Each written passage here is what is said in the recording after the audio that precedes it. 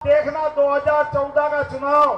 प्रधानमंत्री बनने के लिए नरेंद्र मोदी जी गुजरात छोड़ करके, डंके की चोट, समाजवादी और कांग्रेस का गठबंधन है उत्तर प्रदेश में। ये उनके किले में घुस करके बनारस से चुनाव जीत के बताते हैं।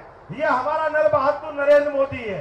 और ये घमंडिया लोग, जिनको ज़मीन मालूम नहीं कहाँ खड़े पिछली बार अमेठी से भागे थे केरल में जाके अटके वो तो आगे समुद्र आ गया नहीं तो राहुल कहा जाता मालूम नहीं पड़ेगा। और उसके बाद अब वापस केरल से डरे तो केरल से भाग के स्मृति ईरानी जी ने कहा आ जाओ आ जाओ मैं बैठी हूँ यहाँ पे। तो उसको देख के भागे। बहन की माँ से आए थे। राहुल ने कहा, मैं अमेठी से लड़ लूँगा, तुमको मैं रायबरेली से लड़ा लूँगा वहाँ से आते आते हवा निकल गई। ये अपनी बहन के भी नहीं हुए।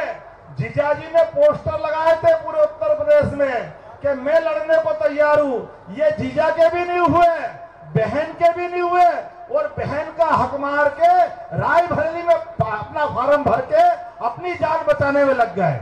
लेकिन याद रखो, भगवान सब देख रहे हैं। अयोध्या भी उत्तर प्रदेश में है कि नहीं है?